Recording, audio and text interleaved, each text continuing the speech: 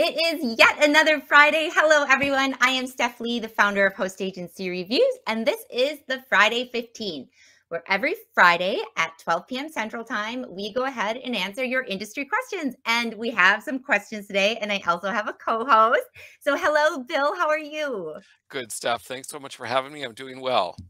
Oh, good. So, if you don't know Bill, Bill Coyle is the VP of Agent Engagement over at KHM Travel Group. Uh, he's been in the business a really long time. Uh, his family's owned an agency, um, and he's been through many. We'll talk about this um, in the questions, but they've had many iterations through the years, um, kind of on what they're focusing on. So he's a great wealth of knowledge. Um, so let's see. The first thing I want to remind everyone of is we have a new reminder set up. So if you're a real big fan of the Friday 15, but find it hard to remember, um, to log in. Um, first of all, you can always watch it at your leisure. It's on our YouTube channel or our podcast feed. But if you want to watch it live, you can go up and sign up for reminders for the Friday 15 at hostagencyreviews.com slash Friday 15, one five. Um, and there'll be a place for you to sign up for email reminders there. So, Bill, let's get started. Um, and by the way, for those of you that are just listening and don't have a visual, Bill has this beautiful office background that is so fancy pantsy. it's got this big arched window. And before we came on today, he was getting his lighting right. And he was like, hold on, let me let me just adjust that. And he pulls up like a a little remote control and he's got these power shades that came down. so yeah, I'm cool. so blessed. We're on the third floor of a pretty high level in our town, so I'm so blessed to have a good view. And actually, out the back view, we can see 17 towers in the winter, water towers. So it's it's a huge view up on this hill. So we're very blessed to be here. Oh, that's super cool. I'm on the third floor too, and I have views of other people's rooftops, which is very exciting. I saw your mom's post the other day that showed you guys out in the yard or doing something, so I oh, recognized. I'm like, oh, that's the house. Yep, we were doing we were doing um, a seed party, and so you'll be happy to know that off my like third floor office window right here, I'm like the classy house that has. I use every space possible on our lot for gardening, and so our our the roof of our porch has all these five gallon buckets with tomato plants on them. That's all right. We'll I, nowhere I to go to for tomatoes this summer. I know. I'm like I'm the crazy plant lady. So I love it. But but I'm also a crazy travel lady. So let's um let's dive into that. So here's our first question today, Bill. So um, Megan S says, I'm slowly starting an FIT adventure travel planning line of business after doing it for free and for fun for years. Until I've trialed and errored and settled on a business model, I don't have enough bandwidth for this on top of my full time job to make paying host agency fees worthwhile. However, a host agency, legit and well reviewed on HAR, etc., offered me a mentorship arrangement where I could do bookings through them as I work with a few clients and learn the ropes. I wouldn't be paying agency fees, but they take a large split of any revenue on the bookings. Before actually signing anything, I'll do the same due diligence I would for a traditional host agent arrangement. And assuming that checks out, this sounds fair and great to me, but it doesn't seem like it's a common arrangement. Is it? And any advice on things to look out for on making the most of this unusual arrangement? Thanks so much for any insights. So, Bill, what are your thoughts on this? First of all, Steph, don't you agree that Megan's done an amazing job of research and understanding the industry and the business before just jumping in and not knowing what's going on? I I agree. For not having been in the business, she's definitely got her her T's crossed and her I's dotted. Absolutely. And I love that she's thinking about, you know, that foreign independent travel, that FIT along with adventure. So that's really cool that she's going in that direction. It's a little more unique than the typical mass marketed sales that are out there. So really kudos to you, Megan, for for going through the extra mile to um, understand and, and gain knowledge before you just jump right in. So the thing that scares me the most about there's two there's two portions of this one that i like is the idea of the mentorship love that idea but the thing that scares me is those words large portion of my commission right yeah so that that becomes a little bit of a, of a concernment right because our model as you know steph is that we give most of the commission to our travel advisors out there, right? Because they joined us, they took confidence in us. Uh, we we we like to make a few dollars off of them, but not the majority of it. So it all depends on what their relationship looks like, how long are we talk about being with them. If someone has that many people, um, um, in their host agency and has staffing for it, that's great. The flip side, I would say, is to say, um, gosh, for a minimal investment and hopefully a good out clause in your contract, it's probably worth it to jump in full fledged to the host agency, uh, pay the fee to jump in, even if it's a payment plan, which hopefully they have, and then have an out clause if you don't find yourself taking advantage of all those resources or benefit at a much higher commission percentage. Hmm That's yeah, because I, you know, when I read this, it's a little hard, Megan, to give like very specific advice just because we don't know what that like large um, payment that they're taking or cut that they're taking because uh, so this is my experience in the travel industry. So with host agencies um, i would say almost all of the mainstream travel agencies take commissions of 70 80 90 um, and some even have like 100% commission plans but so if if the person that you're working with is offering you like a 40% like where they you get 40% of the commission or 50 or 30 i would say there are probably better deals out there for you. Um, and in terms of whether or not it's a super common arrangement i wouldn't say it's super common especially for larger hosts that have more structure with kind of how people can sign up however this type of like mentorship i i would say is fairly common for smaller host agencies more boutique host agencies that offer more one-on-one um, type of training and mentoring. So um, let's see. The the other thing I would I would say is because it sounds like this might be kind of a one-off thing that they're doing that isn't normally publicized on their site, is I would make sure to clarify exactly what that mentorship means and, and get it in writing if you can, whether it's just in a contract or just you know back and forth with a person, but so that your expectations are correct of what this mentorship is including like you know are they doing monthly calls with you or weekly meetings with you yes, or is it just whenever you're because you're doing fit and adventure those that's a little bit I, I would say bill it's a lot it's a little bit harder to train on because it's so different for every single booking um that and that is such a good point because we need to do a lot of research in order to get into that adventure situation. So, is it adventure that's outside of a norm? And when I say that, I mean is it something that's already built through a supplier that mm-hmm. you're reselling that, or are you creating and crafting your itinerary where you're going to need a lot more elements of it and potentially a fee in order to make that work financially for you?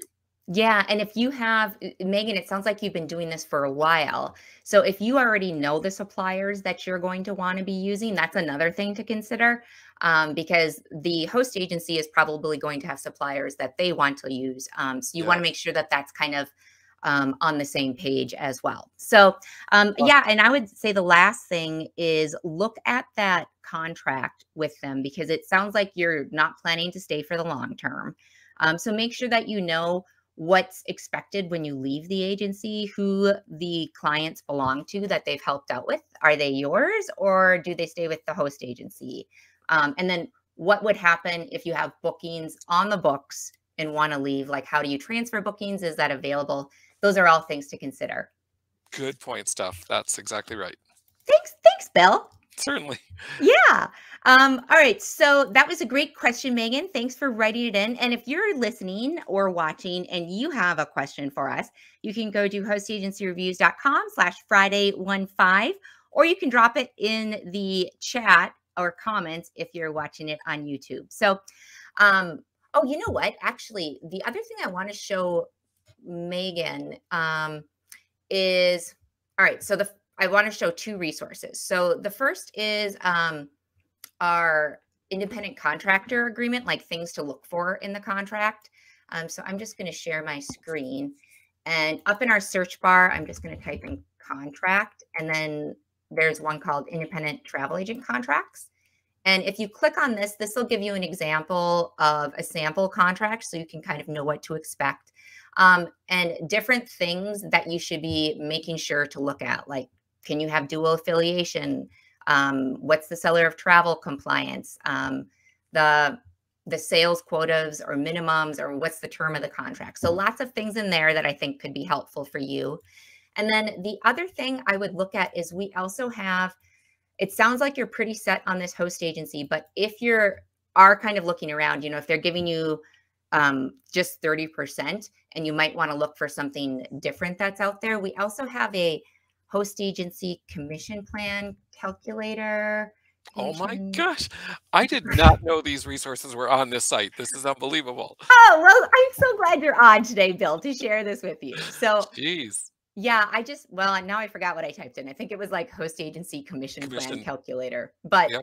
um, so if you go in here, it'll kind of explain a little bit more about um, this, the commission splits, and you can type in um, numbers to see like which host agency is the best deal.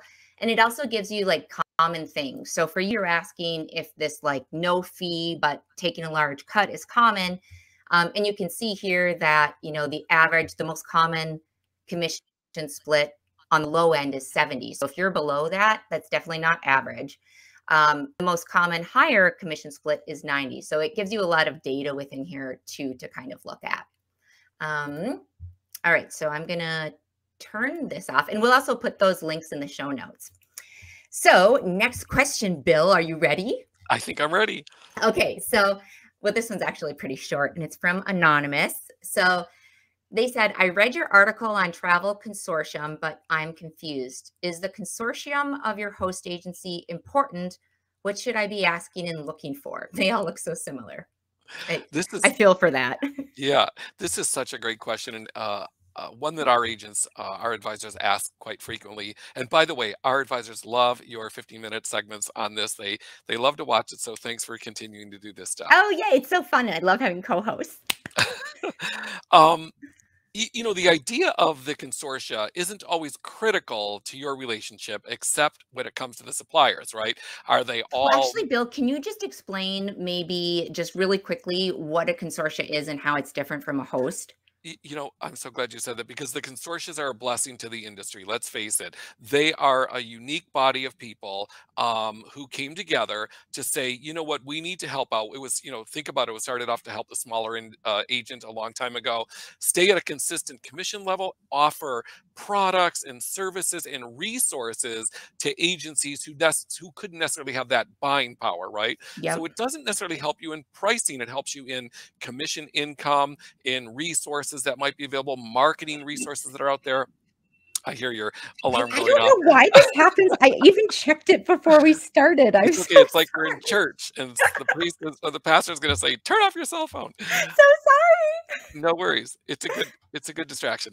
Um, but there, there's there's a lot of value to the consortia, and we're we're fortunate that they're together. How does that relationship look with either a retail or brick and mortar agency, and compared to a host agency, right? So it's that it's that power that comes together and says, "Hey, we are we have all of these resources available for you. We have all these marketing dollars and everything else we're putting together and it trickles down into you and your agents right or your mm-hmm. advisors. So that's how it's best suited right? And there's you know there's there's a lot that are out there um, but there's some mainstream ones that are out there as well. So it's the idea of how does how does the how do the um, the preferred suppliers with that consortia impact the host agency, which ultimately impacts you? Because if let's just say uh, let's just go back to Megan, maybe Megan is in a more unique uh, situation where a mass marketed supplier is not going to necessarily help her be beneficial for her, but there mm-hmm. might be mm-hmm. some unique suppliers and there are luxury suppliers in there that are going to be beneficial. So look for that relationship. Go to that website, check them out, make sure you're understanding who their top suppliers are, and then have that conversation with your host agency or or brick and mortar agency, whichever one it's going to be. Um, but in this case, host agency to say, you know what, what is your relationship with them, and what percentage of your business is with those companies versus other companies who might not be in this preferred supplier list. Ask those questions because they're excellent to ask. You are going to ultimately go in the direction that those suppliers are taking you in through that host agency. Yeah, no, that's that's perfect. And I'm going to put a link in the comments and in the show notes that to an article that kind of explains more in depth what a, the role the travel consortia play because it is it's a little bit hard to explain especially if you're outside of it but they they have a very unique niche within the industry and yeah. and I would say like one thing to note anonymous is that on um HAR so if say so KHM, like Bill's agency, is associated with, they're aligned with Travel Leaders Network. So if you're like on our site and right now on the homepage, I'll just say I'm looking for a consortium. Um, if you are like are just in love with travel leaders, let's say, you can click on their profile. And one of the nice things is you can find out a little information about their profile, hopefully read some reviews. But um, then if you go down, you can see all the host agencies that belong to that um, consortia. So that could be something you could look at. If, for instance, you know that um, you, you want to belong to a certain consortia. And I, I, I will say, like, one of the big differences between the consortia because they have a lot of similar programs you know they all have email marketing programs yeah. they all have direct mail programs but one of the big differences um, and something you might want to consider is do they have a consumer facing brand so travel leaders network has a consumer facing brand which can be very powerful um, because there's trust that comes with that and virtuoso is another one that has a very strong consumer facing brand um, so that can be something that you could use to differentiate consortia. But unfortunately, that's about all I've got for you. well, that's pretty darn good. My gosh, that's a lot of good information.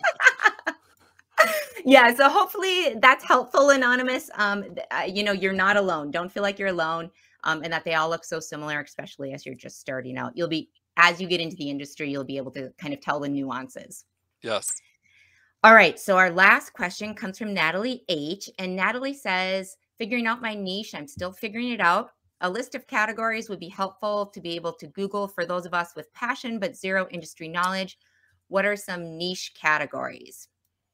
What do you got here, Bill? Wow, lots of great things. So niche, I think we've seen probably uh, a strong percentage of our advisors going toward the niche market, especially after the fact that we spent years, staff telling people, I am an all service travel agency. Yes. I do everything, right? So it's like, oh my goodness, you know, what we've learned in the last couple years is maybe we want to focus in, right, on a, on a specific niche. Um, could it be a lifestyle, a sport, um, a religion? Uh, is yoga part of it? Is it something that you want to do? Is it a destination? Um, just look at what Megan was talking about when it talked about adventure travel. There's so many different things that could be in the niche, um, product driven um, I, will say brand driven. Maybe you're maybe you're geared just toward a specific brand because it's easy to market yourself. Um, back in the 90s um, and the early 2000s, we rebranded our agency because we were a corporate agency doing a lot of corporate airline tickets into a leisure agency, and we happened to brand with Apple Vacations because they were in our market and very strong there. So that could be something that you're niche on. And then we expanded our market from there because it was funny after so many years of selling all-inclusive destinations, we're like like, hey, do you want to go somewhere else? They're like, we didn't know you sold somewhere else. We thought you only did that. So you have to be very, very careful. Um, you know, working in and out of a niche is important and critical to think of when that timing is, but it's also awesome to be in some type of a niche. Just think about the South Pacific or Hawaii. You know, maybe it's honeymoon travel, but there's a lot of variations to that. And I think that I think it's good to start there or potentially if you've been the um, multi-service all service agency to go in that direction if you're considering it for the future. Yeah and and i'm i'm well so when she wrote in natalie was writing in because she was she was reading i think our finding a niche article which i'll i'll show really quickly but Natalie, I want you to know that because of you, I've gone ahead and done something I should have done a long time ago. So up in the search results, I'm just um, typing in, actually, hold on, let me refresh this. I'm typing in niche up here, but I went ahead and added um, into our niche article examples of niches. So there's a whole list in here of accessible travel, corporate, destination specialist, Disney, family travel, luxury travel, LGBTQ plus, heritage travel, MICE, which is meetings, incentives, conventions, conferences, and um, events. You know, ocean cruising, river cruising, weddings, honeymoons, wellness travel. Um, so there's also like a brainstorming guide on here to kind of help you find a niche that you're going to be really passionate about. So make sure to take a look at that. We'll put that in the comments, but hopefully that helps you out um, and and gives you some ideas. And thank you for helping improve the resources on the site. I'm so embarrassed. I never thought of this, Natalie. Thank you. Well, you've certainly expanded it really, really fast. That's for sure, uh, Steph. Well, thank you. I'm just on top of life, Jeez. Bill. You know me. Yes, you take action. You know, I think that we need to we need to change the name of your site or your company to I, I just want to be a travel agent. Like guide me in the right direction. You've got all this great information on there. So I know we appreciate it from our perspective because they learn so much before they come to us. Yeah, well, thank you. We, you know, that's kind of our goal is to make it so it's accessible to everyone and that people that are joining the industry are making the right decision, that they're not going in blindfolded and being like, wait a second, this isn't what I thought. Like, you know, we want people to be successful. Absolutely. Excellent. Well, you know, that is wrapping up our Friday 15. So thank you everyone for joining us. Again, if you want to make sure you don't miss out on the next Friday 15, um, you can go to hostagencyreviews.com slash Friday 15 and sign up for reminders there. Bill, thank you so much for joining us and sharing your expertise. I really appreciate it. Thank you for having me, Steph, and thanks that for all that you do in our industry. We appreciate you. Yay, yay. All right. Well, have a wonderful weekend, everyone, and we will see you next week.